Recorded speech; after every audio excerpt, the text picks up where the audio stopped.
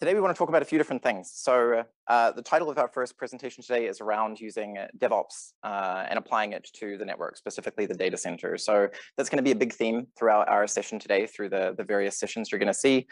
We are, of course, going to be focusing on two products that Nokia has uh, has built over the last five years or so, and we'll talk about some of our, uh, our history uh, as well. Um, so without further ado, I will jump in. So uh, first, I thought I would do a quick intro on who Nokia are. Uh, as Tom pointed out, we uh, used to make phones. Uh, we still license uh, our name to people that make phones, so there's still Nokia phones out there.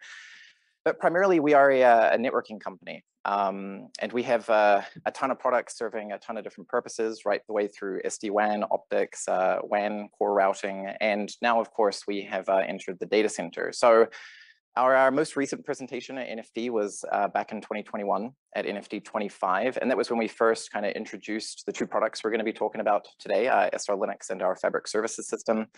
Uh, to kind of uh, maintain a theme throughout the presentation, as I said, we want to talk about DevOps. Uh, you know, it's a term that's been used a lot in, uh, in the application side of the world, of course, and we're starting to see it used more heavily in networking. We kind of want to ground that into what that really means for the network, you know, this term NetOps, as, we, uh, as we've coined, um, what that means for the network and some of the architectural considerations that we need to take into uh, account when we start to roll this out into our, into our fabrics. Now, to keep things interesting, we have a mix of presentations and demonstrations today. So the first segment is a, a fairly large presentation. Uh, again, I, I, have a demo at the end of this to try to keep it a little interesting. And then we have uh, three other uh, segments, one to do with uh, telemetry-driven event management. So I'll, I'll, walk through our solution for that. Uh, and then we will kind of uh, turn over to, to my colleagues, Erwin and Philippe, who are going to talk about the Fabric Services System, which is our controller for the data center. So first, who are Nokia? Well, I know uh, from, from the dinner we had the other night, there was some confusion as to what Nokia actually do. Uh, for those of you who don't work in service providers or uh, on kind of that core metro aggregation side of the world, you may not have heard of us, especially if you're more on the enterprise or data center side.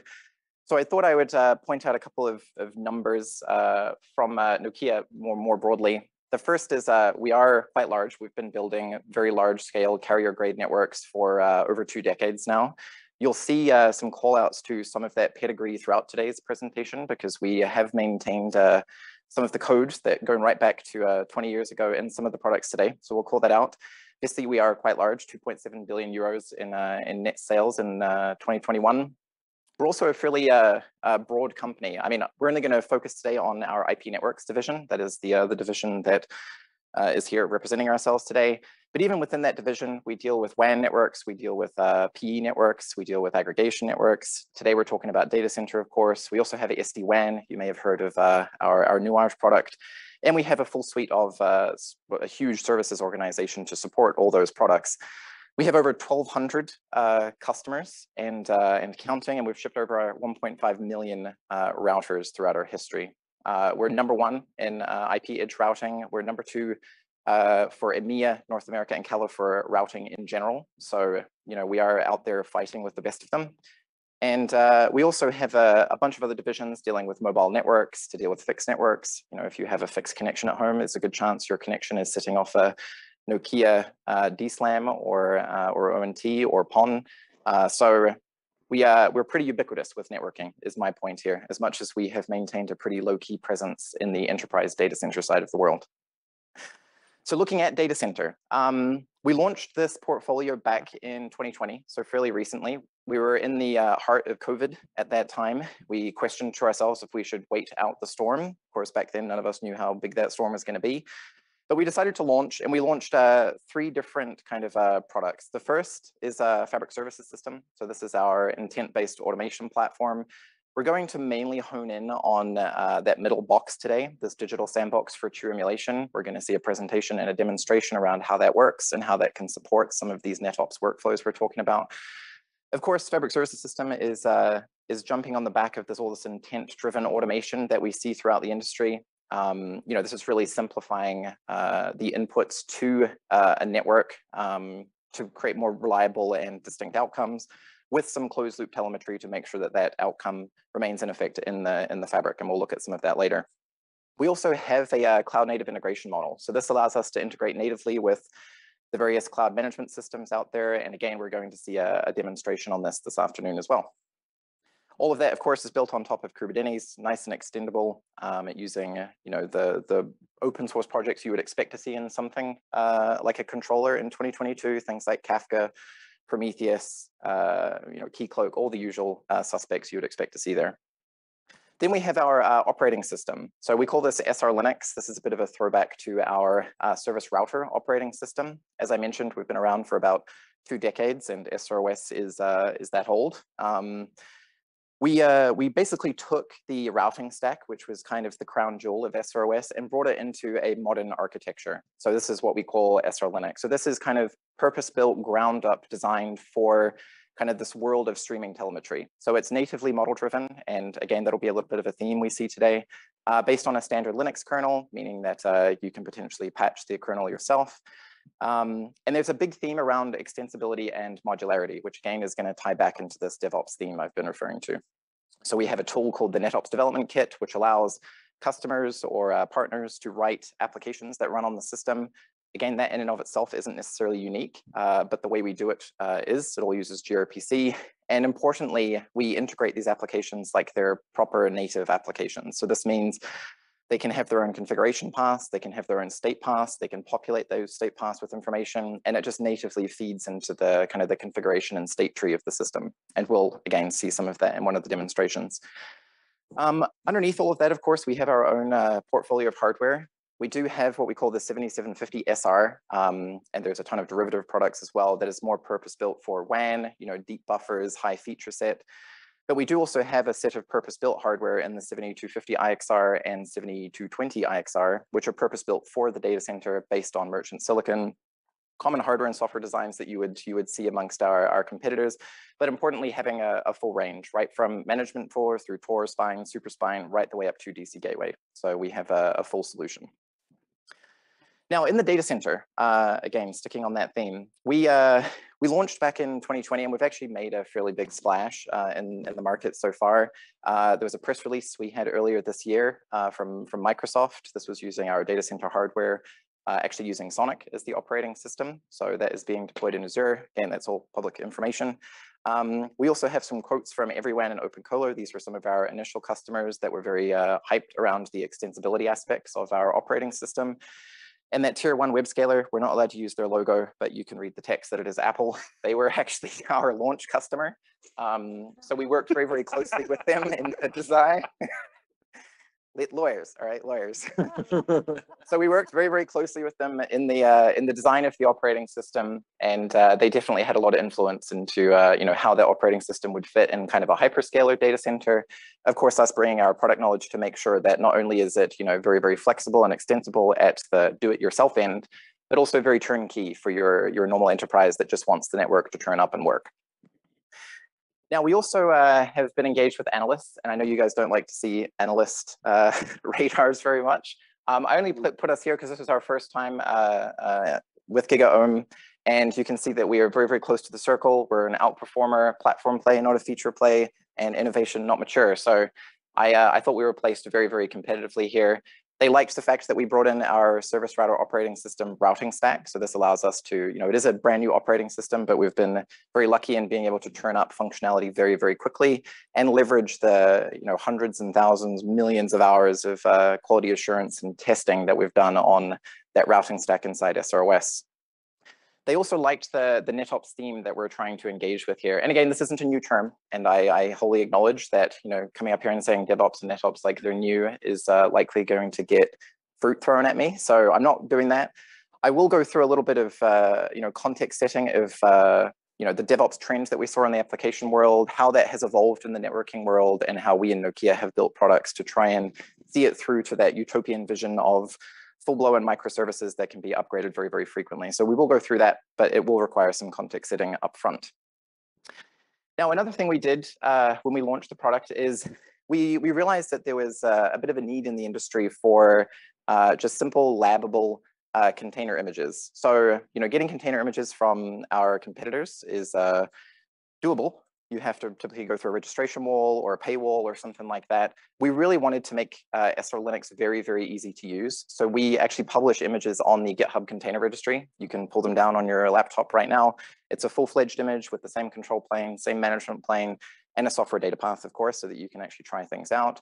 Um, the fact that it's not behind those registration and paywalls will tie into some of the, uh, the CI themes that we'll, we'll see today. Again, we've had very, very good feedback on this. It seems to have uh, gained us some good traction in the industry, just from people getting their hands on the system, feeling how awesome it is. Uh, of course, I can be biased saying that. And uh, that has in turn uh, turned into some, some very good engagement with customers. Okay, so getting to the main theme today, uh, DevOps applied to the network. So again, I'm going to go through this a little bit tongue in cheek. I think uh, a lot of the audience here understand what DevOps is and uh, what it has done for the application side of the world. So bear with me as I go through this. Really, I want to set some context on what happened in the application side of the world so that we can really contrast it with where the networking side of the world has, uh, has gone.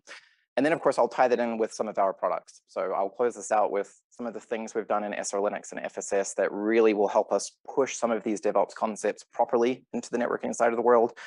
Of course, uh, that is a little bit of a, a, clue that we're probably not doing a very good job of it today.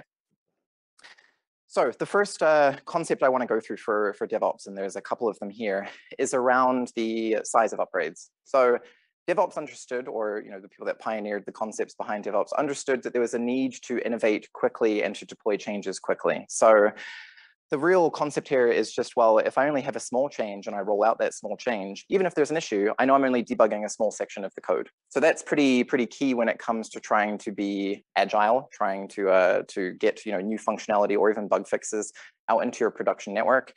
Of course, this is pretty challenging, and I'm sure everyone can vouch here in the networking side of the world. We typically follow that waterfall approach where you know there's two to three major releases a year, sometimes four, and there's a bunch of maintenance releases that fix bugs, but typically don't add functionality between them.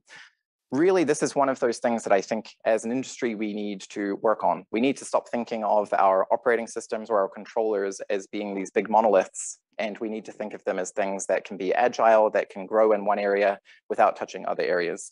So this was one of the first concepts around DevOps. And of course, the second one is very, very much tied to it, was around reducing the domains of iteration. So uh, can I ask you a question about that previous yep. slide? How much buy-in are you actually seeing on doing this? Because, you know, in the networking yep. side of the world, uh, you know, like we, we range from upgrade to never to mm -hmm. upgrade every two years. Yep. Uh, so is is this really realistic to think that we're going to get real DevOps on a on a network operating system? Yep, I think it is very realistic. So so who's who who is doing it? Uh, no, a lot of the trend is coming from the hyperscalers down market. So that's where the trend is being drawn from. Um, I can't name names for obvious reasons, but we're being asked to support microservice style upgrades every two weeks, for example. So not every day, but certainly not once every quarter. Um, there's more of a desire around making those upgrades more reliable. And some of this will come into the testing part of uh, the discussion today, because that is key. The whole concept of CI/CD is important. I think for the vast majority of the of the networking industry, they're not going to consume this in a DIY style approach. Really, this comes into some of the automation platforms. In the same way, if we had to uh, upgrade applications without something like Kubernetes and rolling upgrades, no one would be doing them right? The reality is we are seeing applications get upgraded more and more frequently despite the implied overhead of doing that. So I think the consumption model is important. It's why something like having uh, the Fabric services system manage these upgrades rather than someone actually, you know, manually going in and doing upgrades is important. Being able to do them without service impact is equally as important being able to extend functionality is equally as important. So there's a few things that we haven't done as an industry for a long time. That doesn't mean that this won't catch on, I, I guess is my point. And we're definitely seeing the, the top-down trend down market uh, at the moment. So yeah, I, I think we will see this, but certainly no one's gonna go in and upgrade their BGP stack every week, right? Unless there's something or some kind of automation platform that's doing it for them in the same way Kubernetes would on the application side of the world. Yeah, uh, so at this point, it's just really on the hyperscalers because in, in my experience, the the bigger the network, the less frequent the upgrades, and you know, yep. annually is about as fast as I've ever seen Yep. a big network go, and Yep, most of them yep. are, Most of them are slower once than it works, don't touch the damn Most of thing. them are slower than that. Yeah. Yep. And, and that most every eighteen months to two years. Yep, So yep. When, when do you think this comes out of hyperscalers and who first besides hyperscalers Mhm. are gonna actually do this? I think the ones that are following in the footsteps of hyperscalers will be the logical next step. So your tier twos, people that are hosting clouds uh, and, and selling services on top of those clouds. I definitely think this will get pioneered in the data center purely because there's more redundancy in the data center. There's more tolerance for risk. There's also more of a need to move a little bit quicker, to patch things quicker, to add functionality quicker.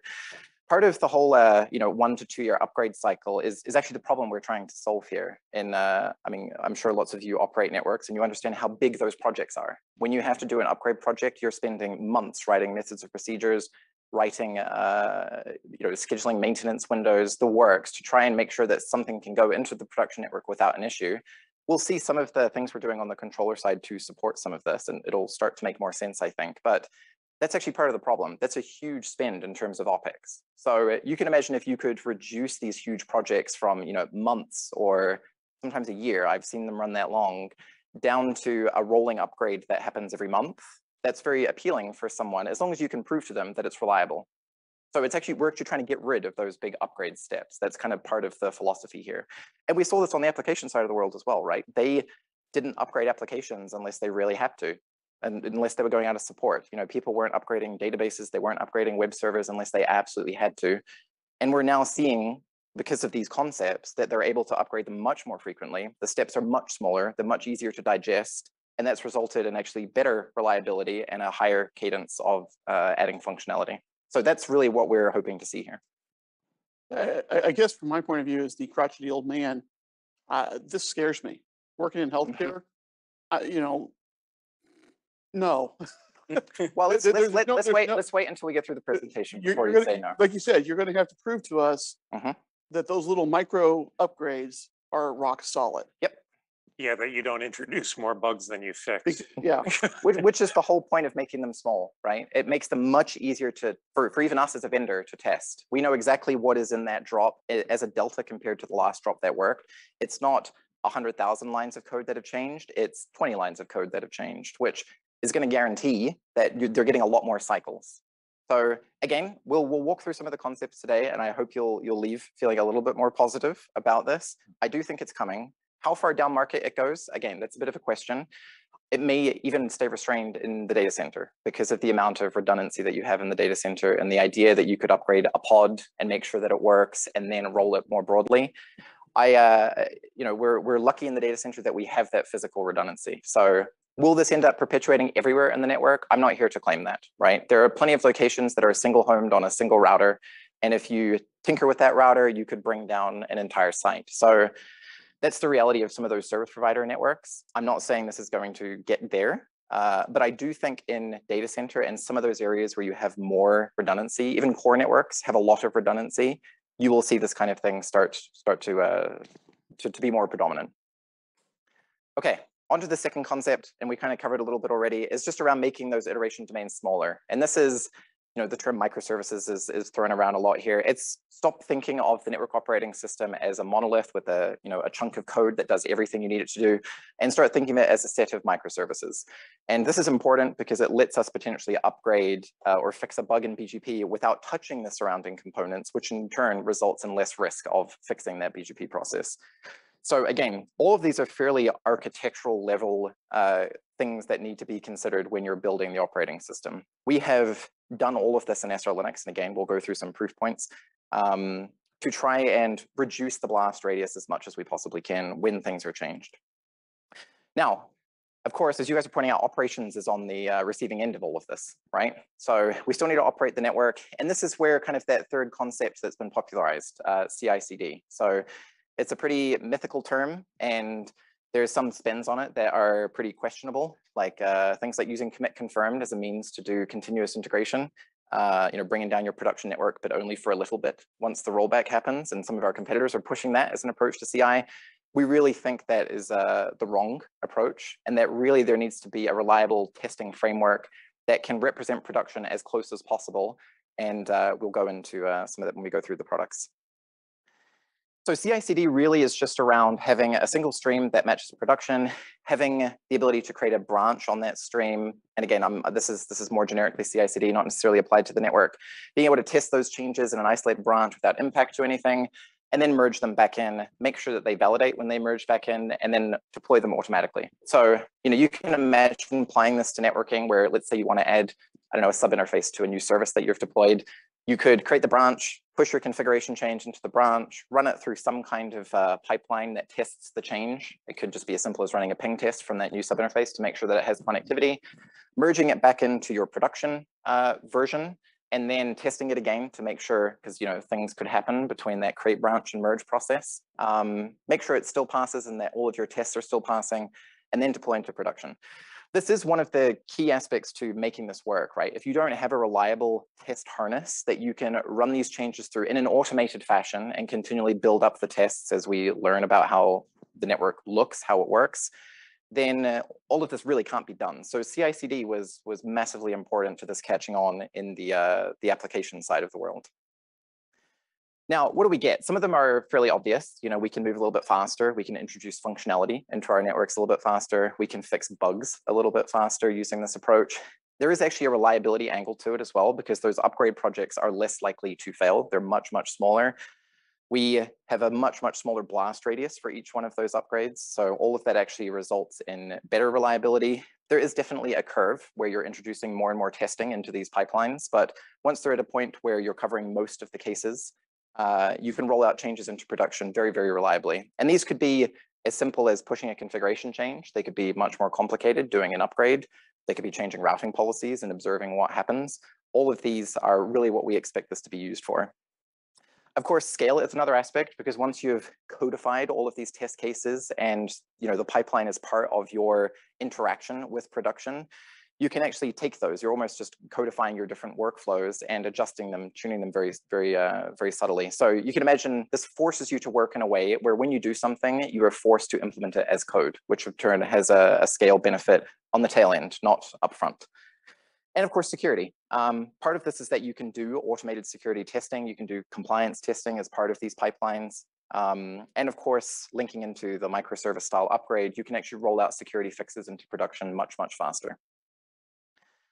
Now, where do we stand? So again, I mentioned these aren't new terms, and I'm sure most of what I talked about was DevOps, most people are, are, fairly aware of. We've seen that thrive in the application side of the world, but we've seen the terminology in the networking side of the world too. You know, Nokia aren't the ones to introduce the term NetOps, but we also introduced many other terms, right? We had NetDevSecOps, we had net DevOps. There's many that have gone around. And I think most of this is trying to put a marketing spin on something that isn't really true to the what we would consider to be DevOps. Again, I uh, everyone has their own uh, version of this, I'm sure. Part of this is just that uh, we are trying to apply the same concepts without the same starting point. So we need to change our starting point is essentially uh, the message here. Now, in uh, some of those hyperscalers, uh, and I would even say down market in those tier two um, uh, colo and uh, exchange providers, we do actually see some of these concepts already used. I mentioned the SR Linux container image. We have some customers that before they roll a configuration change into the network, they simply spin up a container, they push the configuration to it, they make sure it gets accepted, and then they tear down the container and assuming that all passed, the change automatically gets deployed into production. And this isn't a manual step, right? It's part of them deploying the change into production. This happens in an automated fashion. So we actually see this being used quite a bit for configuration, the whole concept of configuration as code, infrastructure as code. This actually is starting to take off. But I think the issue with it is that it limits the scope here.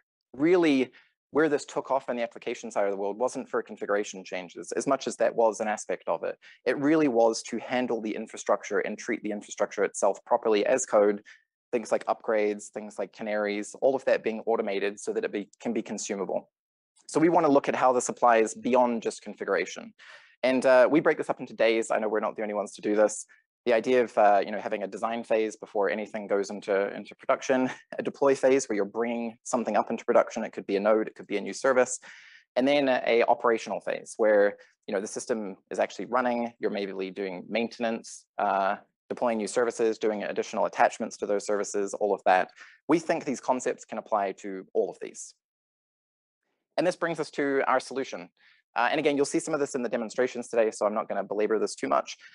We, uh, I mentioned the fabric services system. This is the, the tool that really forces you to envision those code style workflows where, you know, it's basically a big API that you can throw your intents at.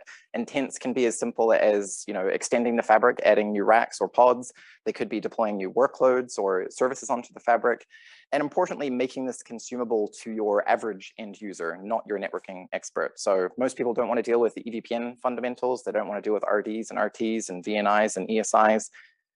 Fabric Service System kind of takes all of that complexity away and does automatic allocation for those things and maintains indexes to make sure there's no overlaps. Now, part of this workflow is, of course, something we call the digital sandbox. So I mentioned a CI tool, like a proper means of emulating a production environment and being able to run changes through it. And again, we're going to see this in the demo, so I'm not going to go into it too much here. This is kind of fundamental to this all working successfully. You have to have some tool to test the changes. You can't just be rolling out microservice style upgrades uh, without any means to do any automated testing because you're basically just going back to that one a year upgrade style, but you're upgrading you know, containers instead of binaries on the disk. Of course, we have our SRLinux uh, model-driven extensible operating system. This is fundamental in breaking apart some of those iteration boundaries, allowing an individual service to be upgraded. And we do see this in some of our competitors where they will allow you to, for example, patch uh, a process. So we're not the first ones to do that, even to do that without outage. And uh, that's actually one of the demos I'm gonna show today.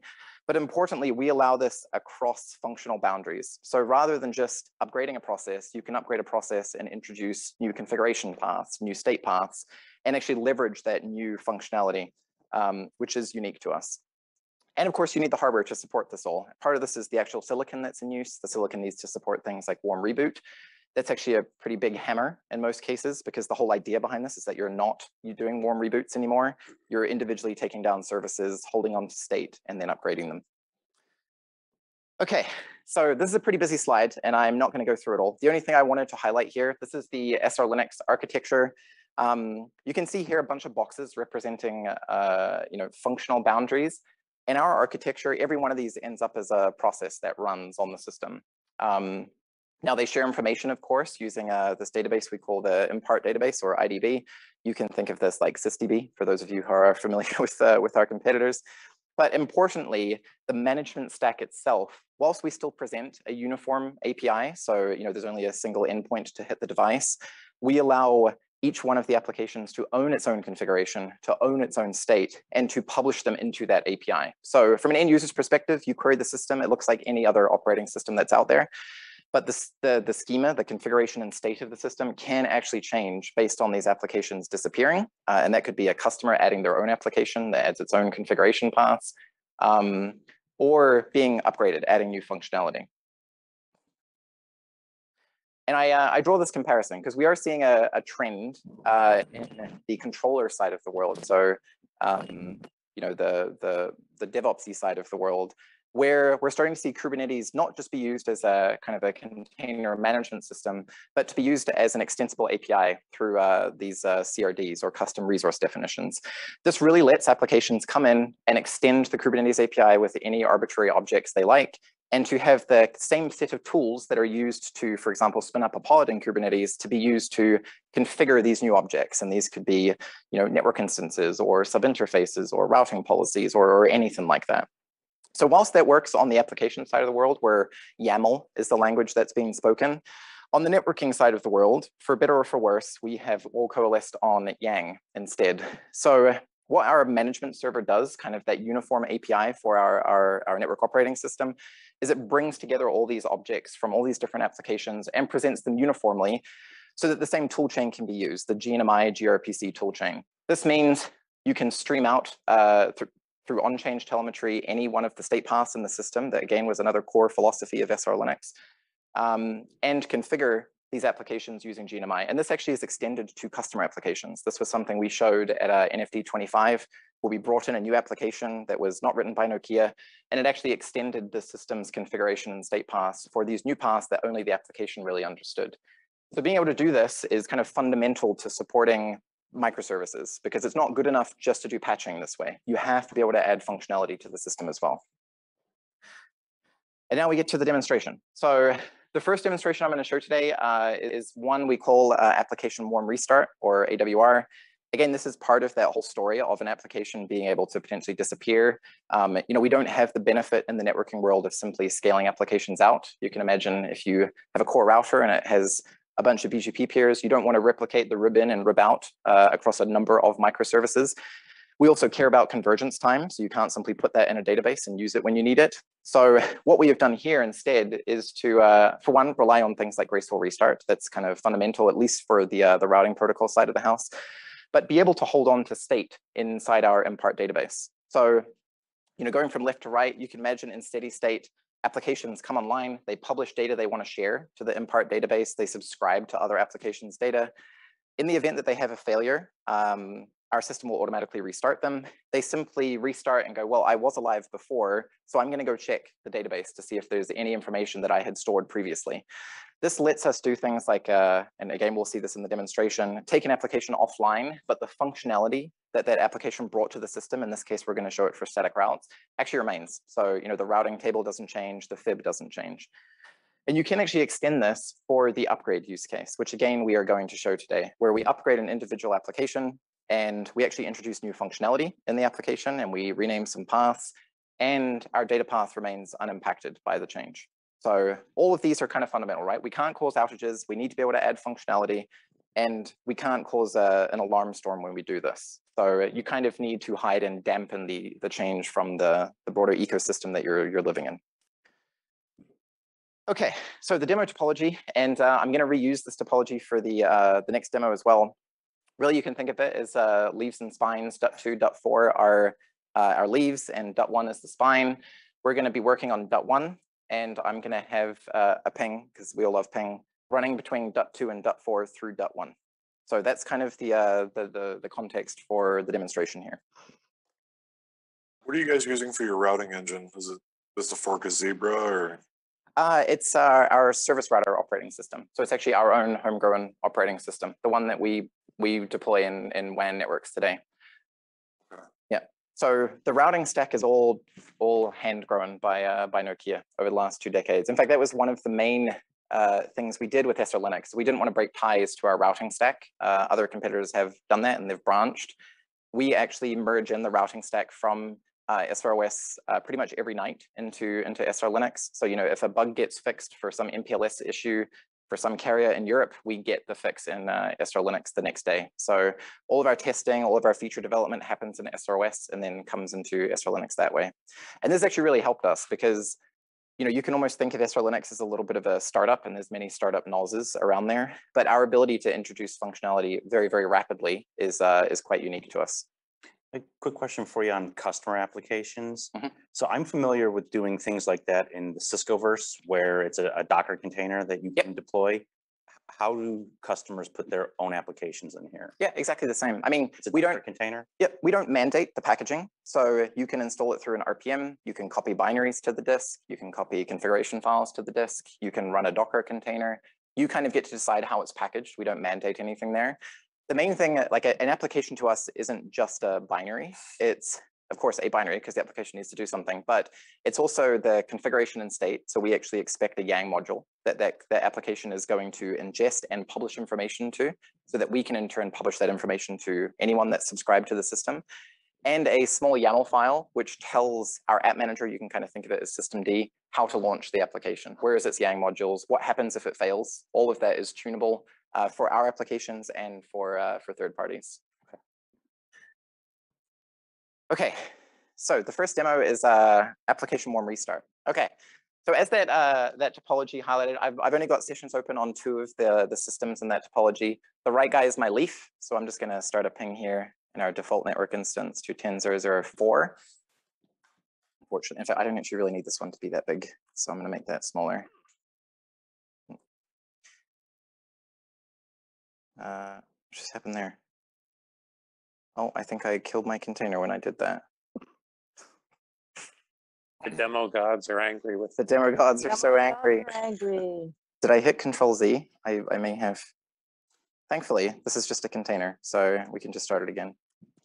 So Is the container lab uh, stuff separate from S, the SR Linux? Yeah, it is. So uh, one of our uh, one of the guys on on my team, Roman, Um, he pioneered some of the container lab stuff. So he maintains it, but it is entirely separate from SR Linux. It is hosted at our uh, at our domain. So it's on SR Linux dev, but it is uh, it is it is entirely So it doesn't run the, the your router OS. Well, Containerlab is uh, more of like a topology building tool rather than a uh, an operating system per But se. the, but the, the SR Linux nodes that are running there, are those running your router OS? Uh, yes, yes, sorry, sorry, they are. Okay. Yep. Because everything I'm seeing shows them running Zebra. The the SR Linux nodes are running Zebra. I don't think so. or I would hope not. Anyway, I have network instances yet.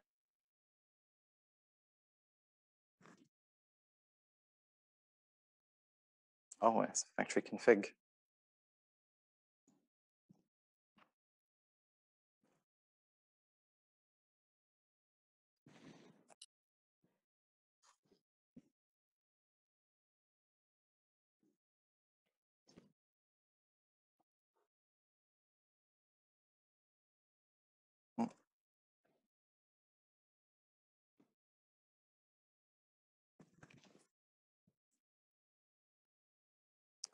Oh dear.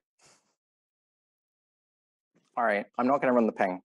I'm not going to run the ping. You're just going to have to take my word for it that it wouldn't go down.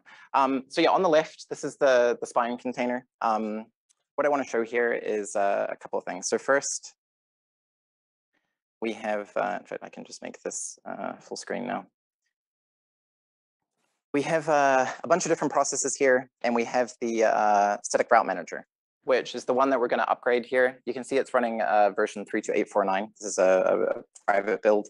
Um, and the whole goal of this is that we're going to upgrade this process and um, introduce some new configuration paths to it. So if I go uh, through the motions here, I'll just make sure I'm in the right namespace.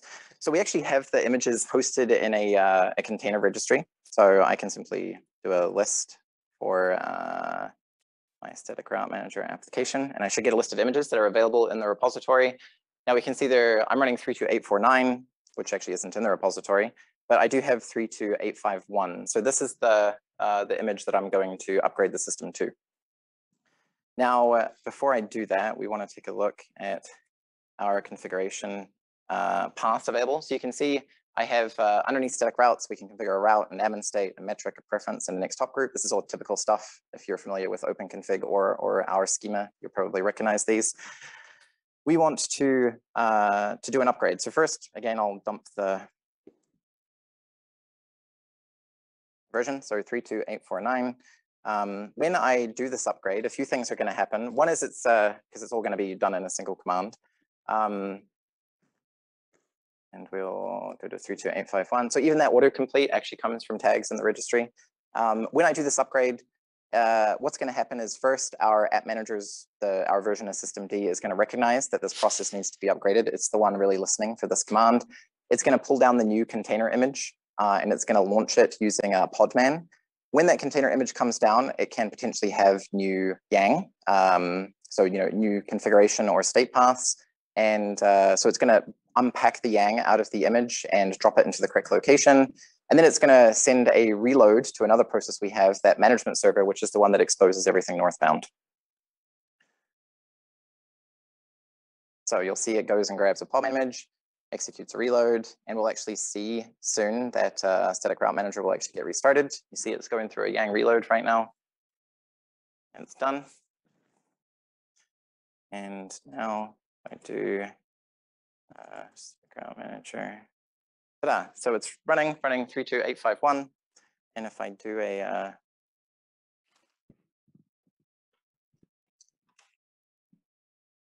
static routes, so we have some new paths here. So across that upgrade boundary, we actually added some paths. Kendall and Jeremy, the engineers that worked on this feature, they like to uh, be funny. um, and we introduced this new uh, IGP metric leaf. So across an upgrade boundary, our data path uh, did stay up, although I couldn't ping it to check. Um, we reloaded the configuration. Actually, in this case, we um, we changed metric to IGP metric. So with, there's actually a little transform function that's packaged with the upgrades. So this actually allows you to do non-backwards compatible configuration changes potentially across that upgrade boundary and transforming the configuration live. And of course, we're now running 32851, which is great. So you can imagine, of course, this process is fairly complex. We wouldn't expect an end user, a human, to be the one executing this kind of thing, especially at scale across a large network. Really, you would use something like Canary to roll out this upgrade on a single device first. Then, of course, there would be a CI pipeline that would validate changes throughout that upgrade. And once it's been validated, you would, in some kind of automated fashion, roll it out. This is what our fabric services system will do as part of its mandate.